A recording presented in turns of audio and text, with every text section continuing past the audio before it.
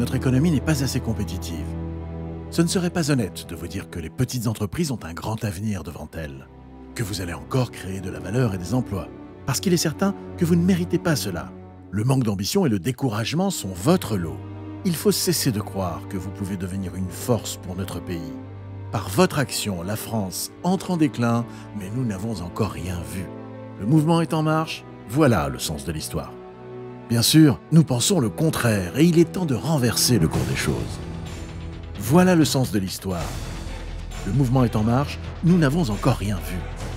La France entre en déclin, mais par votre action, vous pouvez devenir une force pour notre pays. Il faut cesser de croire que le manque d'ambition et le découragement sont votre lot, parce qu'il est certain que vous ne méritez pas cela, que vous allez encore créer de la valeur et des emplois. Les petites entreprises ont un grand avenir devant elles. Ce ne serait pas honnête de vous dire que notre économie n'est pas assez compétitive.